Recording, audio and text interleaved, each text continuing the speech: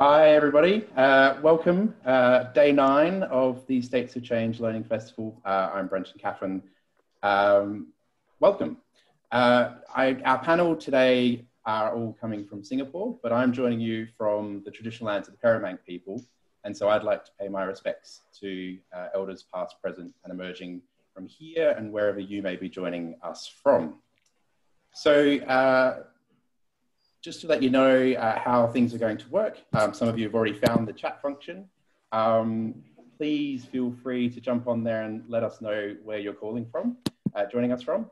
Um, we're particularly interested uh, to get a bit of an idea of the split between, uh, if you like, locals from Singapore and people from around the world.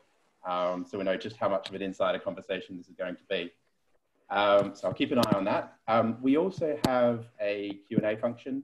So if you've got a really curly question uh, to ask our panelists, feel free to put it into the Q&A and uh, you can upvote uh, questions that you think are pretty good uh, with a thumbs up and then we will try and feed some of those questions in.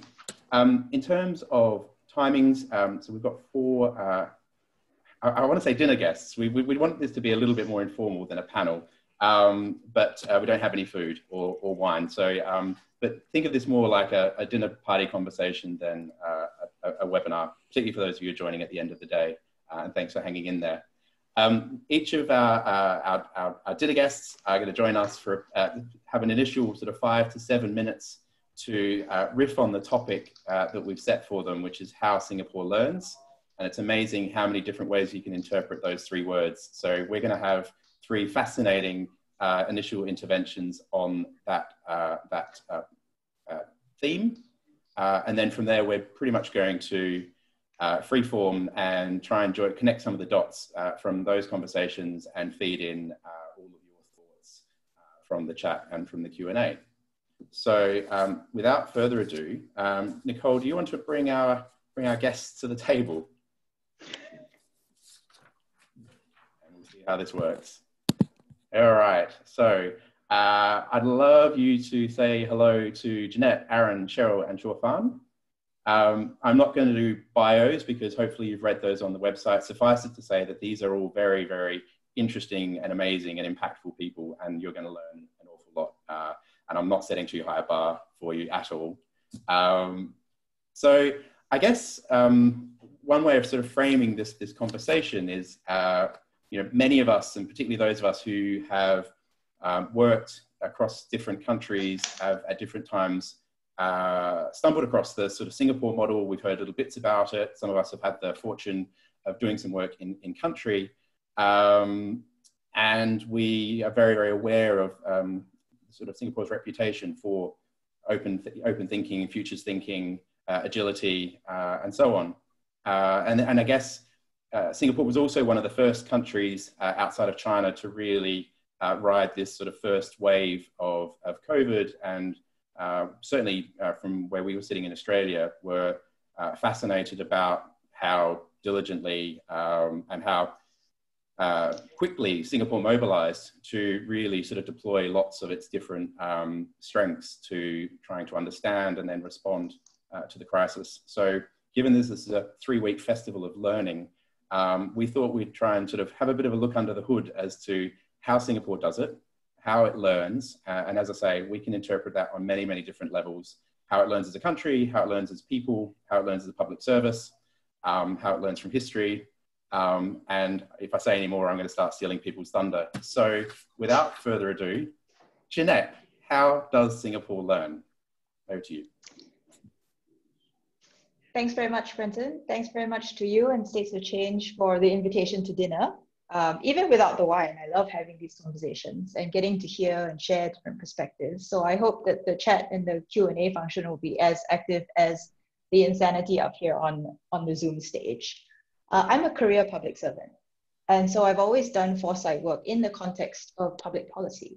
I never really thought about that until I was asked at a recent panel uh, whether there was a Singapore School of Foresight, and if so, what those characteristics would be. Uh, and one of the associations that came up very strongly in the discussion was the notion that the Singapore School had a distinct public policy orientation. And because of this motivation, um, we have a set of a particular set of lenses and mental models when we think about the future. So with that in mind, I thought I'd say a few words about um, how the Center for Strategic Futures work fits into public policy. Um, and of course, this is, this is all uh, thinking that has evolved over time and with change in practice. But uh, there are a few main ways, three main ways in which we think about foresight um, and how it has a role to play in strategic planning. Uh, we characterize these ways as a scout, a challenge, and a grow function. Some of you will have heard us, I, I noticed a lot of familiar names in the audience, so uh, some of you will have heard us talk about this before. In the scout function, we look for emerging weak uh, signals of change in the environment and do deep dives to try and understand these issues um, and implications for public policy as these trends develop and see if these, cha these changes might portend disaster or present new opportunities for Singapore. Over time, we've developed a set of tools and habits of mind that help us to accomplish this challenge function.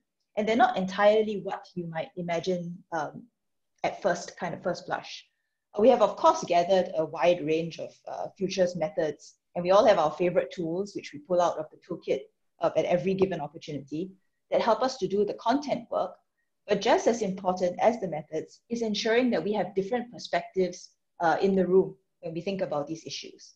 Uh, to that end, we highly value and work very hard at building our international network of thinkers and doers, many of whom are also in this, in this Zoom room today, um, who come from a really wide range of backgrounds and disciplines, who by generously sharing their view of the world and how they think it is changing, help us to rethink our own worldview.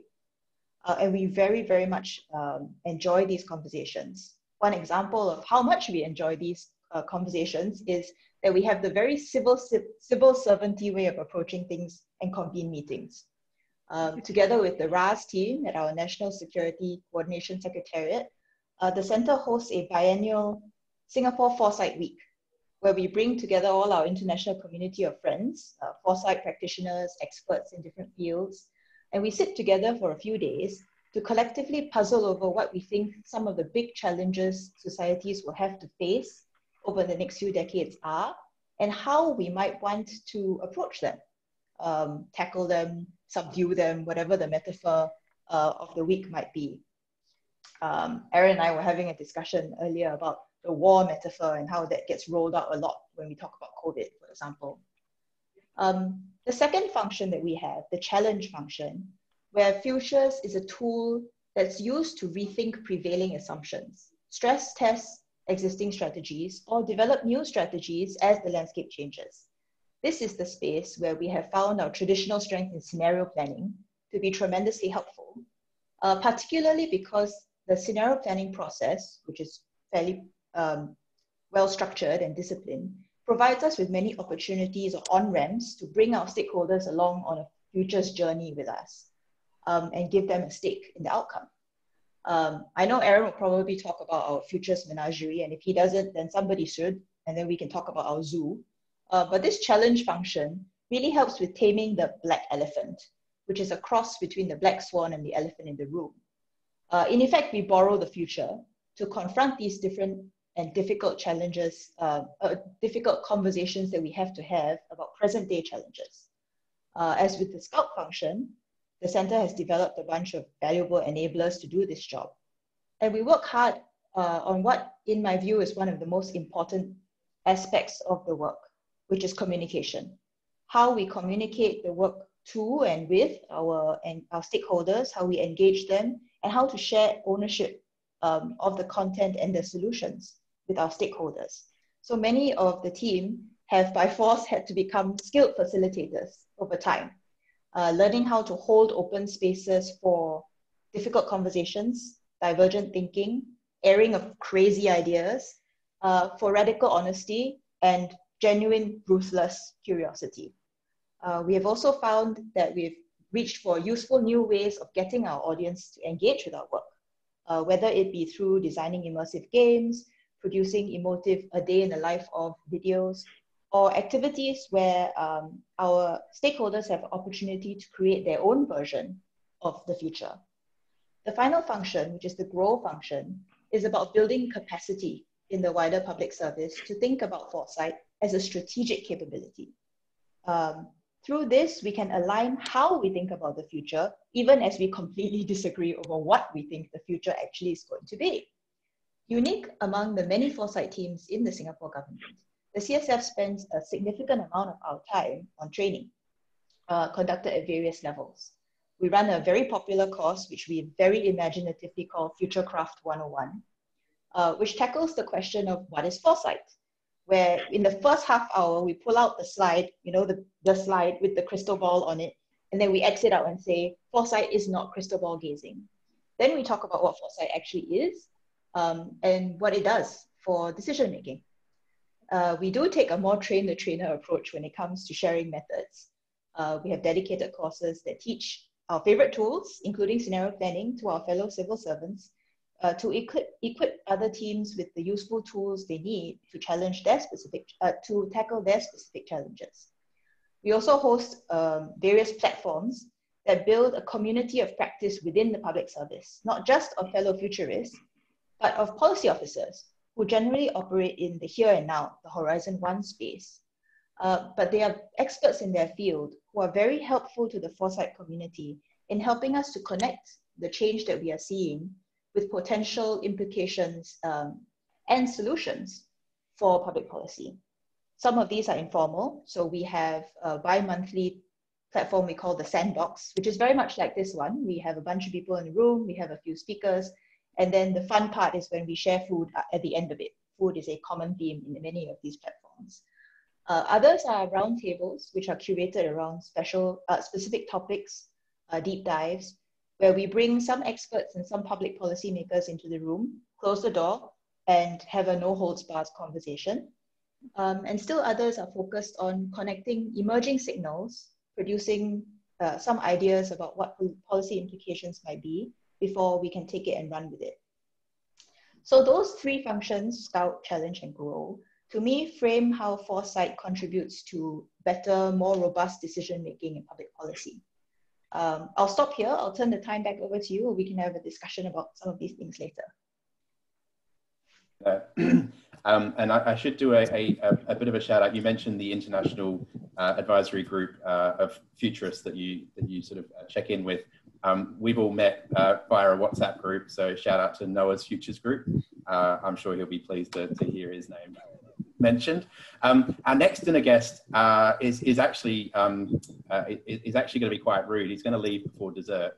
Um, so, uh, so Aaron Aaron's going to come in. He's going to say his piece, and then he's going to disappear. Unfortunately, he's got a very important meeting. It's what happens when you're a very important person. So I'll stop talking and give you some time, Aaron, to, to say your piece.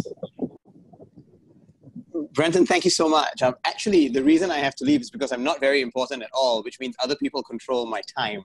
Um, but that's how it is. Uh, I also have cut sugar from my life, so that's also why dessert holds less of an attraction these days. Um, I wanted to talk about two things, um, you know, because when, we, when I first saw the topic, how Singapore learns, or how any nation learns, uh, in fact, I really started asking myself that question needs to start with the, the issue of how individuals learn and then take that learning and transfer it to some kind of organizational level. Um, you know, the nation here is made up of, of individuals, but there are many subparts as well. And I will take a bit of a government perspective on this as well, uh, since, like Jeanette, I spent most of my life, pretty much all of my working life, in uh, the public sector.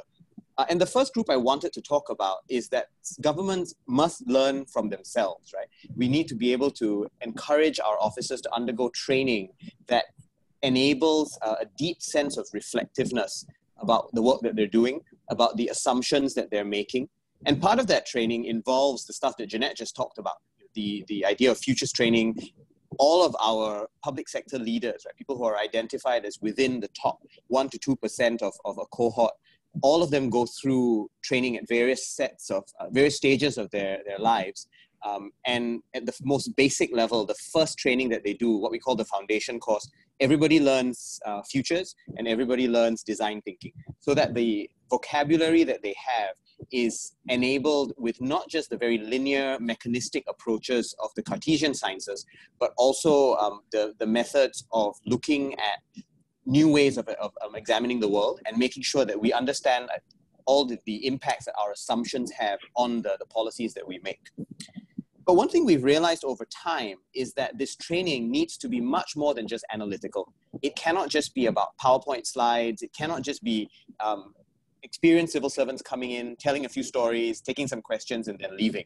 We find that it's really important for people to actually immerse themselves in that learning the learning can't just be analytical, it needs to be as experiential and as embodied as possible.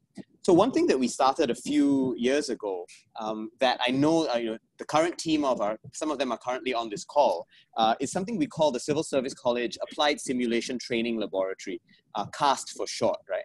Um, it's really a serious gaming lab. But we couldn't call it a serious gaming lab because if you call it a serious gaming lab, you won't get money for it uh, and the, the, Ministry of Finance, you know, will not have liked the word game. Um, so we called it an applied simulation training lab instead. And the idea behind the lab is that we craft these experiential training platforms um, to provide avenues where people can learn in as immersive a way as possible. And one, one of my favorite examples of that is that when we put people through role playing games or they play board games to learn about how to apply financial rules, they actually live through the experiences um, of making policy in a way that is simulated but is nonetheless real and helps them to rehearse what the options might look like when they are faced with actual situations. Um, I'm a huge fan of this. My favorite moment in when I was working on the applied simulation training lab was we got, went through a day-long exercise on public engagement where different people had to role play different roles of talking to citizens about whether or not they were going to redevelop some land near the uh, the, the, the, homes that these citizens had. And it was entirely simulated. Everything happened in the same room they just broke for lunch periodically. And at the end of it, someone actually went and sat in one of the chairs and said, Oh my God, I am so tired from this whole process. And then we laughed because we said, You know, you didn't have to drive around, you didn't have to go to multiple different locations, but the simulation of dealing with their whole selves rather than just an individual part, um, or, you know, of their just using their brains, for instance, was a really powerful experience. And that, I think, for me, is one of the key aspects of how the Singaporean public service learns through experiences and immersion rather than pure analysis. The other thing that I was hoping to talk about today is that I think it's really important for governments to learn from citizens, not just from themselves, because that can really create an echo chamber of policymakers and bureaucrats. But we must learn how to listen hard to what our citizens are telling us. And, and we've tried to do this in a number of different ways in Singapore because we recognize that there are many advantages that come from citizen engagement. One of the advantages is that the government doesn't have a monopoly on truth, and we therefore make sure that we learn from as wide a range of sources as possible. We also get much better ideas this way because we're not stuck with just the, the material that um, a, a, bureaucrat might have from the lenses that they apply to the world. So we've done various um, very large scale national um, visioning exercises. One of the most recent was something we called Singapore Conversation in 2012. We ran something called Singapore Futures in 2015 as a way of celebrating our, 20, our 50th uh, anniversary as a nation. Uh, we've run a few citizen juries where we've gathered uh, interested citizens on themes like how to fight diabetes or how to you know, encourage um, more relationships amongst the young. We've got one going on now that's on how we can achieve greater work-life uh, balance or work-life harmony. And those I think are really important such that we've actually codified some of this work in an entity we call the Singapore Together movement. Uh, so there are a, a, small team in our Ministry of Communication, Culture, Youth and Sport, which is actually in charge of building up our government capacity in how to engage with citizens. Now there's a nice overlap between this and what Jeanette was describing on the future, because very often one of the best ways to engage citizens is to ask them what they think lies in the future. And when we do that, we enable people to collectively vision and also to learn about the difficulties of policy making and the trade offs that are involved.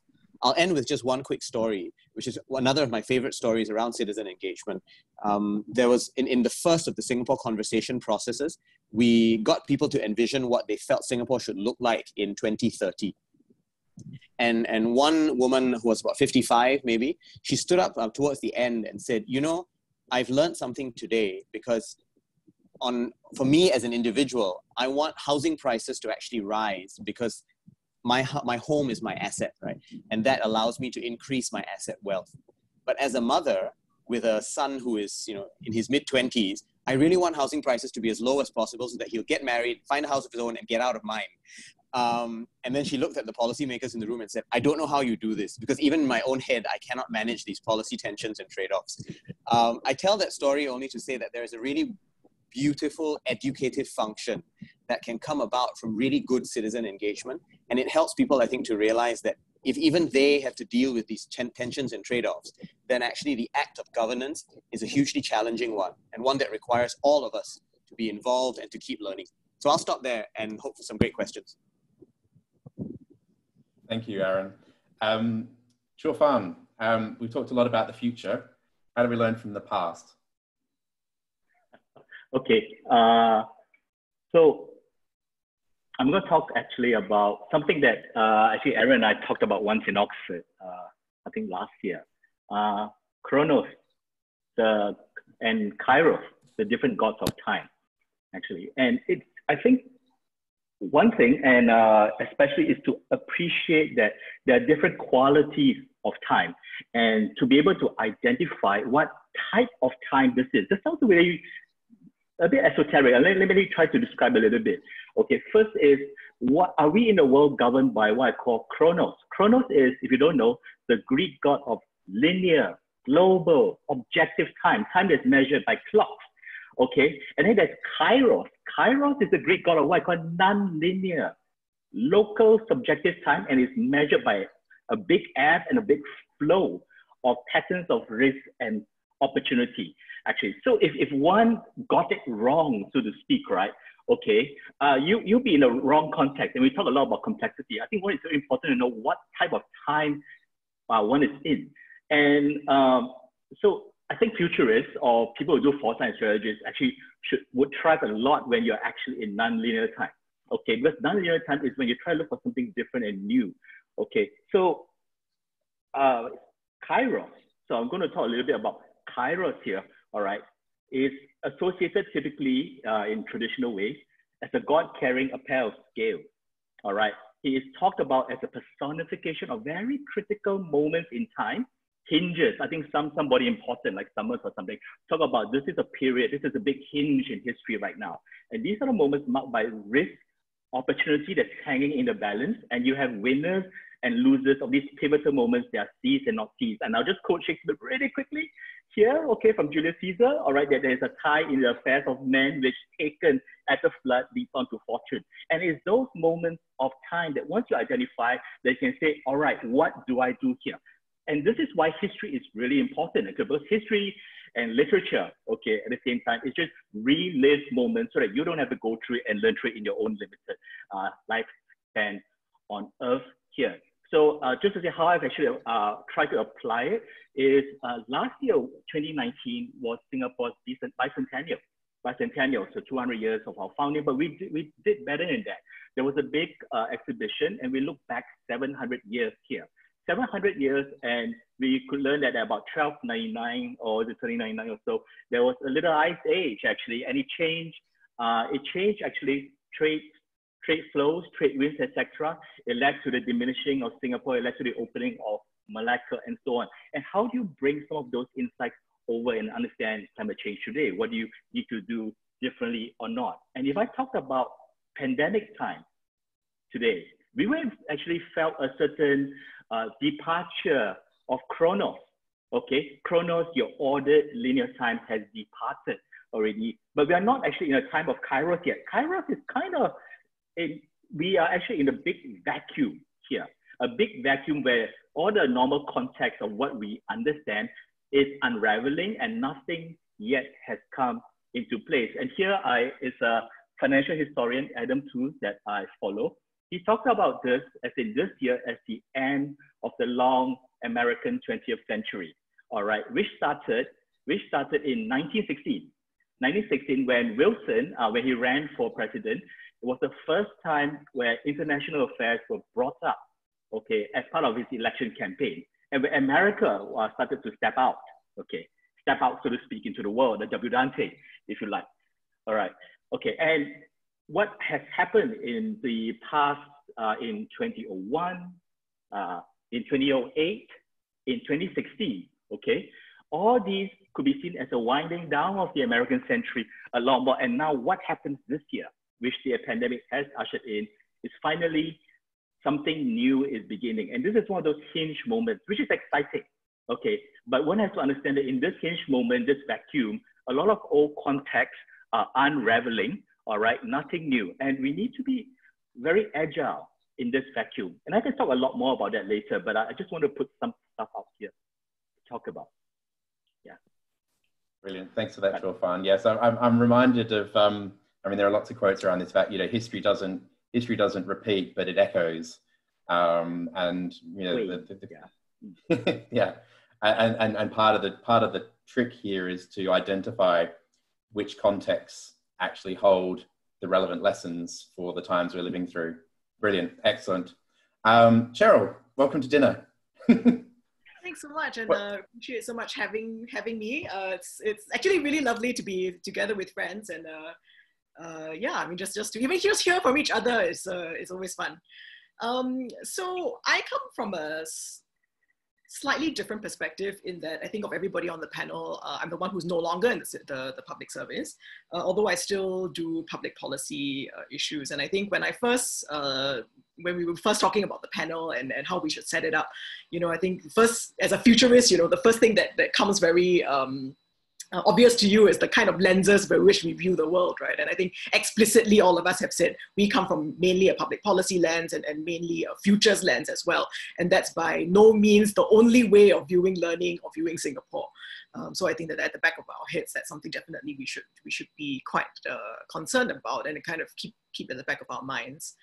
Uh, and the reason why I want to talk about this idea of being transparent about the lens is precisely because that, that's what makes learning um, also to be able to be, to think about your own thinking, right? Uh, and learn about the way that you're learning. I think those are, are kind of skills uh, definitely crucial for the future space, but not exclusive to the future space uh, that becomes very important. And, and I think to be able to articulate what those assumptions are and then be willing to at least examine them, even if you're just taking up the rock to look under it and putting it back down again. Uh, those again are really uh, um, uh, important questions. So I think for me, um, I, I'm, I will take a little bit more of an educator view because uh, now I'm at the Lee Kuan Yew School of Public Policy. And, uh, and I think for me, as I transition from a public servant uh, into becoming an educator, I think Future's work became much more personal to me because, uh, like many of our colleagues here, we spend some time, you know, working uh, either at the Prime Minister's office or you know in ministries where when you talk about the future, you're talking about a grand future, right? Like the national future. Uh, but when you're a student, I mean, to be honest, if you can survive your exams, you're very, you know, uh, your future might only be that that that far in advance, uh, that's kind of ahead of you. Um, and I think it also comes down to I think the point that Aaron made right in the beginning, right, which was that that to be able to be a good learn, learner as a good learning country, you also have to be a good learning person, right? And it's kind of made up of this collective of, of individual learners, and I think that that's that's also to me um, really important to start to really hone those learning skills and abilities um, and, and specifically taking the lens of futures, you know, what are some of these habits of mind that are common in the futures practice that can be translated or even democratized to kind of, you know, to a wider audience. So I wanted to talk about uh, two little projects, uh, uh, maybe three if there's time, um, uh, that we've done in the couple, last couple of years to, to maybe bring, bring in some of these points. So the first uh, project I want to talk about is uh, for two years now, I've been uh, helping out with one of our local junior colleges. Uh, so these are 17, 18 year olds and uh, kind of helping them with the extracurricular futures um, kind of module, you know. So the idea is that they have like 10 weeks to become model citizens and think about the future of Singapore. And, and these are the kinds of people who hopefully when they grow up will end up doing the kinds of jobs that Aaron, Jeanette, and Chor Pharn do, uh, you know, uh, to think about really, you know, what does it mean for the future of the country and so on. Uh, so the very first thing I do with them is a little, uh, I would say a mapping exercise. So we pretend that there's a two by two on the floor. Uh, and one, one axis is talking about uh, whether or not you have you're optimistic you know or pessimistic about the future. And then the other axis is about whether or not you have high agency or low agency. And one of the things that that happened uh, you know the last last time i did this uh, little exercise was that actually quite a lot of the students clustered in the low agency uh, part of the, the, this quadrant right?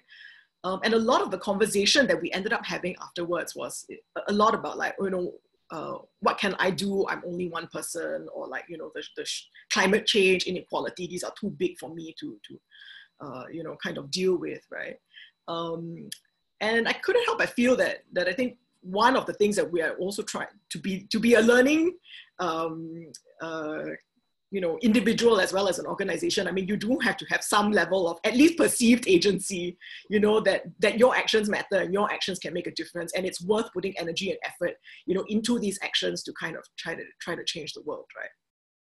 Um, so that for me was was a very interesting kind of mindset because i think in singapore especially uh, you know with uh, it, kind of the academic um, and the formal education system being the way that it is, it can be very um, uh, I would say, single minded, right? And that can be excellent in many ways, um, but can also be very devastating for students who may not, um, you know, who might do extremely well, but just not not in that single track, um, you know, future that they're viewed in, and you know, and, and are, are they able to learn enough to to, you know, invent and reinvent themselves? You know, I think that that's a real question. Yeah. Um, so the second uh, story I wanted to tell, uh, a little project that we do is, uh, is an inequality walk. So uh, the Lee Kuan Yew School is a graduate public policy school, so we get about 160 uh, master students in every year, and they are from uh, all over Asia, all over the world, uh, probably about 88% international students. Uh, and one of the things we did with them last year is we ambitiously, over many, many, many sessions, took them uh, on an inequality walk. So I, I designed a, a, short walk between, uh, for those of you who are, who are familiar with Singapore, uh, from Robertson Quay to Jalan Kukoh. So Robertson Quay is a, mainly a private uh, area. It's a very, very, commercial area, so it's got a lot of bars and restaurants and stuff like that, right by the Singapore River. And Jalan Kukoh is just right across the street, uh, and it's Singapore's highest concentration of uh, rental housing. Um, and the point of the discussion was not to was basically just to talk about a very broad question, which is how do governments and how does the state allocate resources? In this case, housing resources. You know, um, and the, the first introduction I say when I when I bring them along is when you end this thing, you will have much more questions than you have answers, and good luck to you for the next two years trying to figure this out. You know, uh, but basically, you know, okay, can we ask ourselves, right? You know, how do we allocate resources? Is it by price? Is it by uh, you know, criteria. If it's criteria, who gets to decide? You know, what's the bar? You know, uh, things like that, right? And and I feel like um, that's what to me is one of my favorite experiences or things to do. You know, every semester, and and I feel like that for me is such a important uh, part of not only teaching and learning, but also taking it out of the classroom, and also giving um, young people the tools to be able to walk anywhere in any country and still ask these kind of, in our case, big questions of public policy, um, you know, and not need that textbook, you know, um, and just being able to, to kind of experience and observe. And, and I feel that just being able to see the world in different eyes is just such a, change, just fundamentally changes you as a learner as well. I think the last quick thing I will say is um, um, really this idea of, of also having the mental agility of thought experiments. Uh, and uh, Jeanette, Aaron, and Chor Pharn will be very familiar with, with this kind of work. But, uh, you know, the whole idea of scenarios is to put yourself in, in things which seem a little bit ridiculous, right? Um, so the last project I'll talk about is something we did last year uh, for our Festival of Ideas. And uh, I ran a uh, 75 young, we had 75 young people from all over Asia come to join us uh, to do a thought experiment on how to design public services for Mars. And these young people had no idea about public services or futures thinking, uh, so it was just chuck them into the deep end. Um, and what I thought was really interesting was, was again, just exposing young people to these habits of mind, um, you know, to be able to see, see that actually you know the world can be very different from what what we think it might be. And and if we come in with this you know almost beginner mind right? I think uh, you know the, the, way that we approach these these ideas um, and with this curiosity and playfulness and and you know kind of dynamic energy uh, you know can can really bring us to a much more positive future. So the story i wanted to close on was um, so we so we, we made these students run around and try to design public services for mars right and uh, we had and they all some of them came up with scenarios about how did we end up on mars in the first place. So there was one uh, group that um, they basically their, their setup was that uh, at some time in the future this was last year in november uh, there was some there was a global pandemic. And then the government decided that uh, it was as a as a there was a they were going to give universal access to a vaccine right so they gave universal access to a vaccine and then the vaccine turned out to be a population control measure. Right? And because there was such uproar you know uh, for what this government had done you know uh, a new political party rose up and decided to lead the charge to to colonize mars. So you know i mean in november i had a young student from Indonesia lying on the floor covered in sticky dots, you know, and at the time the scenario seemed a little bit implausible, but within a month, you know, uh, you're like, hey, actually, you know, it's not that implausible after all, right? You know, and and not to dis, you know, not to dismiss this thinking that seems overly crazy or wacky or whatever, but actually to see that, hey, you know, there might be um, there might be nuggets of truth in it, right, uh, that we can learn from and uh, and and yeah, kind of help to use to create a better future. That's all I have. Thank you, Cheryl. Um, uh, at, at, the risk of um, turning this into a complete free-for-all, I'm going to invite all the panel to take, turn their um, microphones on so that you don't feel like there's a need to be this awkward pause before you jump in. Oh dear. Uh, and this is the last word you'll hear from me uh, for the next half an hour. Um, that, that was brilliant. And, and, and we've got some questions and I'll come to those in a minute and, and do feel free to keep adding some questions and, and, and or comments into the chat. Um, so many places to start and, and do feel free guys to, you know, find your own rabbit hole you want to go down. I guess I just wanted to maybe just, you know, start with the last thing I heard, which um, there were some great examples, Cheryl, um, the inequality walk and the public policy for Mars of, of what I call sort of first principles thinking. You know, you mentioned the beginner's mind, this idea that how do we go back and ask some of the kind of core fundamental questions of public policy? Like, why do we do this? How do we allocate? What would we do if we were actually starting, you know, with a with a you know uh, red field scenario of Mars? Um, and I've just I, and I, I guess try and tie two concepts together. Um, I've always been fascinated by Singapore as a nation state in a city, your ability to actually think at a national level, but also you're very grounded in location. So you, you can actually have very high conversations about the purpose of a nation state, but you can also walk out into a housing, uh, you know, uh, sort of development and ask questions about, you know, actually putting people into, into sort of, into accommodation. So um, I don't know, I guess that's more of a comment really than a question, but I just, I'm really interested in this idea of um, how you, yeah, how, how do you cultivate sort of first principles thinking and, and is that something that you recognize in some of your own experiences, so maybe to some of the others, um, or have I just made, made that up? Yeah, I mean, I, I, I, come into an academic institution as a practitioner uh, and, and without, uh, you know, uh, traditional academic kind of qualifications, you know. But I think that for me, one thing I always ask myself is, you know, are we are we trying to be a learned organization or are we a learning organization? And I think that there's a difference. You know, uh, in some sense, you know, there is a bit of a curse of the learned, right?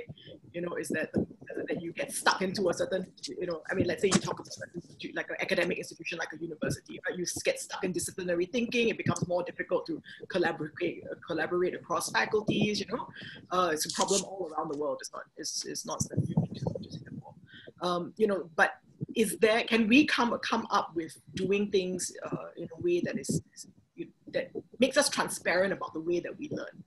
right? Mm-hmm. And we can start with a blank piece of paper, you know, um, and that's I think that's very, very much the philosophy of the, the inequality walk. Uh, and we do various uh, experiential uh, walks, not not just this one, but the idea is that can I walk anywhere, right? And just say, you know, and then have a if I was walking with Chor Pharn, you know, on holiday somewhere, you know, can we say to start to think about, you know, have have a conversation about inequality in Paris, you know, like I mean, you know, it, it's, things like that, right? Um, and and I think that that to me is what being uh, kind of that beginner's mind and that curiosity, that just you know uh, desire to learn and, and thinking from first principles becomes super important.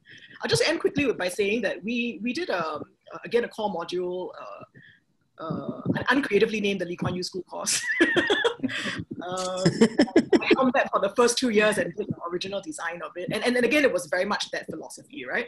It was not, we didn't want to just be like, oh, case studies, you know, Um, but can you lift the director's cut version of public policy in, in this example and say, okay, you know, if we have to think about these things from first principles, you know, like how do I allocate housing, you know, you know, how does the economy grow, you know, these kinds of things, uh, and, and have a conversation from there. Then when you have a diverse classroom people from 40 different countries, then there's a, ba- there's a basis to talk, you know, uh, and, and kind of debate ideas. Yeah. I might jump in here quickly uh, before I need to run. Sorry, uh, Brenton, I, I really don't want to, but I, I guess I, I, will have to. But I, I, wanted to say a couple of things. First of all, on first principles, because I, thought that was a fascinating question. Um, and I think it is true that we need it. Part of what looking at the future does, part of what you know, immersive experiences do, is allow us to really go back to that set of first principles and ask ourselves, without the in, additional influences from um, extraneous factors, what are the core principles that we want to have? What are the values that we live by that can guide the actions? But I would add that I, I find it hard to keep the first principles mindset throughout partly because life is thick description, right? Um, everything happens in a context, it happens within a system, systems are embedded in other systems, and, and there are these deep histories, there are accumulations of culture that are out there. That's why I think the immersive experiences become so important, whether they are, you know, the, the walks that Cheryl mentioned, the futures exercises that Jeanette mentioned, um, or, or, the kind of games that, that I mentioned in, in my uh, kind of remarks. I think we need all of those precisely because life is so thick that we need to add to the first principles and make sure that we are looking at life in all of its rich complexity. Uh, there was one question in the, the panel about why we put people in a, in a single room. And it really was a simple thing, you know, it's that with games, we want to keep the learning as pure as possible. And so we have people take on different roles, but the environment is still safe where they can experiment and not feel that they're dealing with actual citizens or actual stakeholders that comes in in the citizen engagement section, which is why I think I decided to tackle both of those topics together. You know, where the realism starts to come in and you do have actual stakeholders sharing their actual lives. And I think we need both of those things. We need the safe environments and the thick description environments outside so that we live through both of those um, and, and can gain the lessons from, from each of them. I really hope the rest of this conversation goes well. I am going to jump off now, but thanks again, Brent, for having us. And, and to the rest of the panelists, take care. I'll catch up with you guys later. And see you guys next time. Bye, Aaron. Yeah. See you. Bye. um, the um, so I, I, I, like that point. The idea of kind of combining first principles with the messy contextual reality and sort of holding both of those in in sort of tension as you kind of work work your way forward. Um, I'm going to bring a question in um, that was asked by Abhishek because um, I guess one one bit of history that um, that, that recent history that, that uh, Singapore could lean into was the SARS experience in 2003. Um, and and if, you know many people said that gave Singapore a bit of a head start in terms of responding to to COVID. Um, the question is, you know, um, I mean, how did you learn from SARS um, in your response, and and what lessons would you share for public policy aspirants here? So, does anyone? I'm not sure. I, I, I, did actually speak to Aaron about this last week in Victorian uh, conversation. So at least we know he's not going to repeat himself because he's not here. But does anyone else have some thoughts about how Singapore learned from SARS? So I have a view. This is my view, right? This is not official history. This is Jeanette's uh, Jeanette's view of how things uh, worked. But um, in a sense, the experience with SARS gave us something to a model to recognize the current reality against. It's almost exactly what we do scenario planning, except we had a real scenario, which was SARS. Uh, and so when the, the, when the early signs um, of COVID showed up, our spider senses went off and we were like, mm, I think we've seen something like this before and uh, maybe we need to take a closer look and be worried about it. And that's why we responded quickly. And we also had a playbook um, from having learned from SARS what you needed to do, uh, that we could start our COVID response with. We very rapidly realized that although SARS and COVID have some similarities, they are not the same kind of disease. And, and the, the disruption they cause is not the same kind of disruption. Unlike SARS, COVID is extremely global. And so the long tail challenges in terms of economic and so social challenges are completely different than the SARS experience, and we have to learn as we go. Um, and that's where some of the experiential uh, learning instincts kick in. Um, pity Aaron had to go so we could have had this debate. But I was thinking about it as he was speaking and saying that we live in a sandbox now.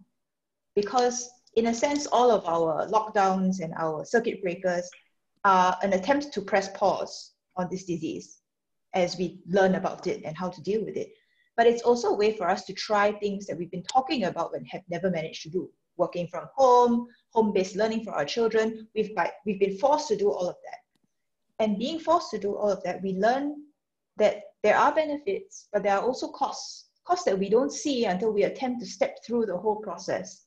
And this is the futures at the national level versus futures at a personal level problem, right? At the national grand scale, we can describe this beautiful future where everybody works from home, nobody needs to commute, we don't have to consume so much greenhouse, we don't have to produce so much greenhouse gas, and we can all live in a beautiful space.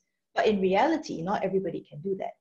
And what kinds of, of, of problems and what kinds of inequalities inadvertently get uh, put on the full display as a result of some of these things. Uh, we were talking about working from home and um, um, and about learning at home this morning in another meeting that we had, and it's a little ironic that the the move to digital to to tally everything has almost re-emphasized how important physical spaces are. If you live in a small house, if you have crappy internet, you cannot participate fully in this digital world. Then whose responsibility is it to make sure that you have space to do what you need to do, that you have infrastructure and resources? Who looks after the poor children? Who looks after the squeezed adults? These all become public policy questions that you didn't have to ask before, but now you've seen it and you've experienced it. You can't not deal with it. That was a bit of uh, my rambly response to that question. No, that, that's great. Um, I might even feed this into the next couple of questions um, from the, the Q&A. Uh, they're, for Chor Pharn. One, one asked to, to, if you could unpack the, the, this idea of the need for agility and this hinge of history. Um, where do we think we need to move quickly to grasp the opportunity or position ourselves to learn as things emerge, which I think builds on what Jeanette's just said. Um, and, and there's a second question from Christopher, which I think is limited, which is what are the costs and the opportunities involved when one toggles between Kairos and Chronos in this sort of in this period. So I don't know if you want to. Christopher's question is really really deep actually. So uh, let me let me try here and uh, let me try to explain through perhaps an example. So it's a little bit more uh, less abstract perhaps here. So going back to the climate change uh, piece that uh, that I mentioned as an example fairly early. All right. So what I started to reference was how did um, economies or societies um, handle the different sorts of uh, climate extremes that they went through? And you just have to say, uh, it's a little ice age, so it'll be very, it'll be a bit different for Singapore. But what, what is it? So the military historian uh, Geoffrey Parker, he wrote a really good book, so you should just go check it out, people. Okay, on the second and third order effects of uh, the little ice age of the 17th century. Now that was no walk in the park. It wiped out about a third of the global population then, and it triggered uh, what is quite well known as the 30 Years' War in Europe and in over in Asia. Uh, the Ming Dynasty was was already tottering. All right, it was destroyed actually. It was destroyed, and uh, we saw quite a lot of apocalyptic cults flourishing. So you just you get a sense of what um, what what is the sort of like you know the ground unrest, if you wish. But um, uh, so talking about now Kairos, right? Kairos, the guy with the you know you know the balances there. All right, who's winning and who's losing? So what are the states that thrived and and actually did well, not just survived, but did well. So one of them that I was really curious about was the Dutch Republic. And you know, this coincides very well with also the golden age of the Dutch, right? Because it became the world's preeminent naval and financial power and vis-a-vis the Spanish. Okay, why why was it that? Because if you look at it, you could see that the Spanish were hindered uh, by size. In this case, uh, actually the size of the galleons. Okay, while the Dutch actually invented uh, skippers, really small, agile ships. And, uh, and by the way, the business model was called piracy. Okay, and you could raise funds quickly. Uh, which well, they also invented they also invented the company, didn't they? That's right. That's exactly what I was going to say. How can we yeah. all participate in this piracy in a nice way, you know? Okay. And this is it. So, well, compared to the Spanish, they were hindered by size and legacy to the crown and all that. So that, that just got me thinking, it's like, what are tomorrow's winners be like? So uh, you have carbon legacy systems that weigh down economies, uh, okay, like like those of in the United States, okay, or Australia, and those of the Kingdom of Saudi Arabia, and I'm not yes, all right. And then what what are what are who's coming out with not just the technology for the systems of financing for a post-carbon society? We definitely see that in Europe. We also see that for very different reasons uh, in the PRC as well. So that's, that's the Dutch. Okay, that's a Dutch lesson if you wish. Then go over to another winner. The surprising winner here was Tokugawa era Japan. All right, uh, or what you call Edo. All right, Edo era Japan. And it adopted a very different thing. It adopted a fortress strategy. So Japan prior to that was pretty open, but in to in response, in response actually to the droughts and the roaming bands or what they call uh, wandering samurais without master, Ronin. All right, it developed a very centralized power structure and performance legitimacy was essentially stability plus disaster preparedness. So actually at the center, if there was a disaster, say a far off, uh, not province, they call it a prefecture, all right, okay, they'll send the guys there, they will settle it, etc. But in return, in return, you had, of course, to uh, give so much of your uh, produce from your land over, as well as so many men. But even more crucially, uh, they froze social mobility. So the idea of a caste system, okay, and the very rigid different levels, how you behave, your in and out, and so on, that that uh, uh, that characterizes modern Japanese society actually a lot of it started taking shape during Tokugawa era Japan. They had to free social mobility because otherwise with a lot of social dynamism, society was so creaky, it could not take it. It was very interesting, a very different approach. They also froze innovation. So you remember there was also a time where they had the, uh, in English they call they just seal themselves off from the outside world as well. So, so the Meiji Restoration. Say, yes, our, until the Meiji Restoration with the black ships coming in all right, in 1857 or something like that, I think. So that so you have different you have different things to learn from. And then if I had so in these hinges of history, I think one thing to do is, uh, and we talk about this the Cynefin framework often, is please don't react immediately. All right. Uh, so that so don't react immediately. Try to see the deeper patterns there. Okay, and uh, you send off little, you do little small trials, and you see the response, and you start to get a good sense what happens. But I have to also uh, uh, caution that in these times, right, a new, a new uh, kairos, so to speak, a new structure of the new world doesn't happen immediately. So for, uh, for the Little Ice Age, it took a good part of a few decades. And if we want to talk about pandemics, the Black Age, all right, the Black Age, uh, sorry, the Black Death, from the Black Age, the Black Death, that also coincided with a, uh, with a little bit of climate change around that time. The emergence of a new world came about after about six or seven decades, if I remember correctly, uh, and that led to the Renaissance and all that. So what should a society do during that time? Okay, of course you have the husband, you have the husband resources, but also have to also put, take a lot of bets, like the way the Dutch did. Okay, but Tokugawa era Japan strategy was also correct for its very particular thing because it was an island nation. It could choose to do that. The Dutch could not choose to do that. So once again, you have to contextualize and see what works, what doesn't work. Yeah. So I'll just stop there first. Yeah. Oh, that's that, that's that's brilliant, and uh, I, I imagine we could we could. There's a whole other hour we could have on on actually how countries learn from other countries through history. Um, and I wish we'd done that one now. um, look, we are we we're getting very close to time. Um, so um, unfortunately, uh, this feels like a dinner party that should go on for a while.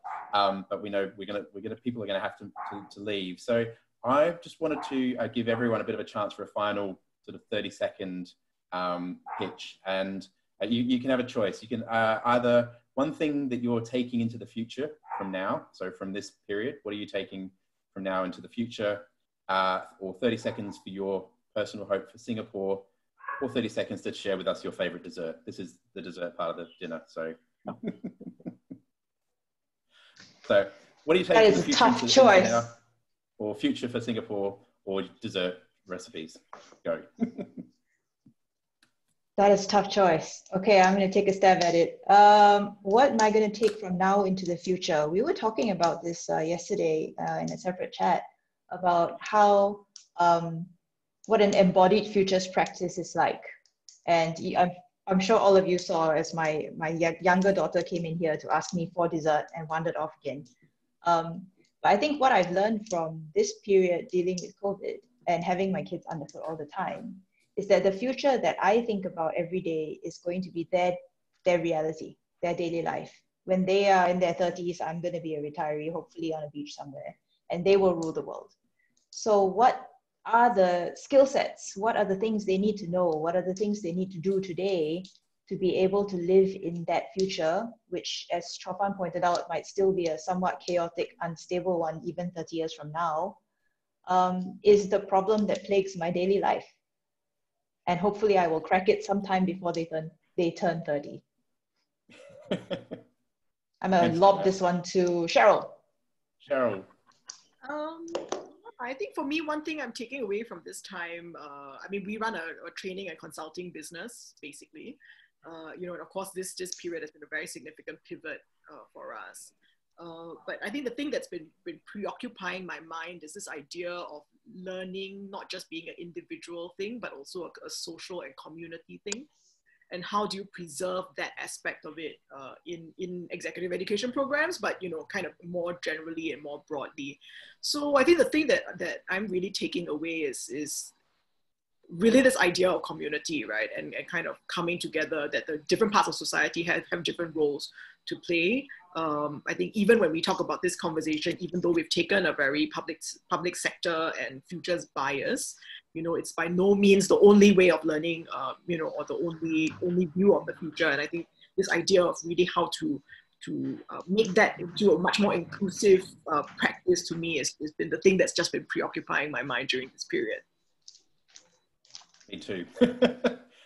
Chor Pharn. Oh, okay. I might talk about pangolins, actually. Yeah. Okay. Hi, Uncle Chor Pharn. Hey. oh, it's, it's, it's, the idea, and I think if anything, all right, I, I think uh, history has been, uh, I talked a little bit about this on the chat yesterday, almost a bit too human centered a bit too human centered. If anything, right now, we should have a lot of humility. Okay, the virus is actually throwing our world really, really upside down. And to actually start to understand that it's not so much a, uh, what's the word, human centered history, the Anthropocene so much actually is actually the, the world of um, biocene. I, I'm making this up, microbiocene or whatever it is. All right, the history is not just made by humans, but history is actually made by a lot of non-human beings and through our actions, we are interacting a lot with it. This is not just about climate change. This is also about the different synthetic intelligences that we are going to create fairly soon.